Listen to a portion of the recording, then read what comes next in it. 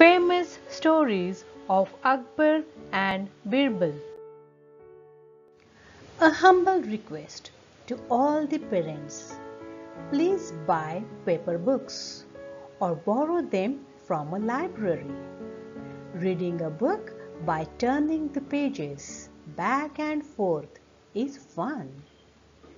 Please, for the sake of our children's eyes, Highlighted words are special words. Learn their meaning and say loudly. About Akbar and Birbal stories.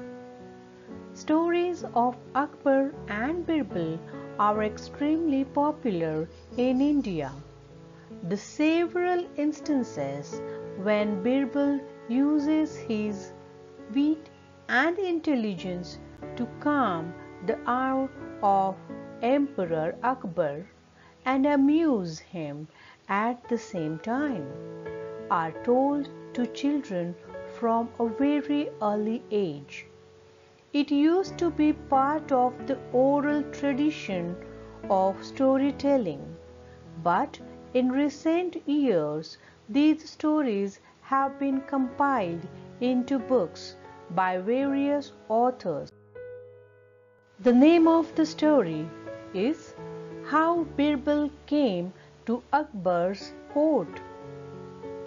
Emperor Akbar loved to go hunting. On one such trip, he came across a young man named Mahesh Das. In the meeting that occurred, the emperor was extremely impressed by the wit of Mahesh Das. The emperor gave Mahesh Das his ring and asked him to come and visit him in his palace at any time. A few years later, Mahesh Das decided to try his luck in the city and to take the emperor up on his offer. He reached the city of Agra where Emperor Akbar had his fort on the banks of the Yamuna river. At the gate of the fort, he was greeted by the guards.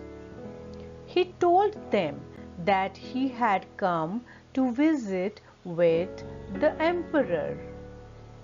The guards looked at him in disdain, since he was not very well dressed, and asked him why they should let him in.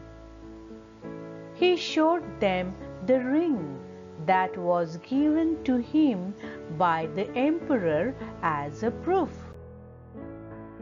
One of the guards realized that this individual obviously was of importance to the emperor and gave him permission to enter based on one condition the young man would share half of what he received from the emperor with the guard.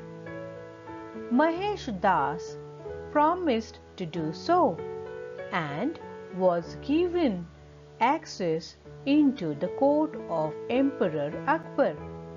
He bowed to the emperor as he went in and showed him the ring. The reputedly benevolent Emperor Akbar recognized the ring and the young man and immediately offered him anything he wanted. The young man thought a while and asked the emperor for fifty lashes of the whip. The emperor was amazed, but he knew that Mahesh Das was a very astute young man and asked him for his reason for his wish. Mahesh Das revealed to the emperor that deal that he made with the guard outside the fort. The emperor was thoroughly amused and angry at the same time. He awarded the 50 lashes to the guard for his impertinence and his habit of bullying people. He rewarded Mahesh Das by including him in his court and giving him all the comforts he could desire. He also bestowed on him the name of Birbal. This is the end of this short story. See you soon with an another story.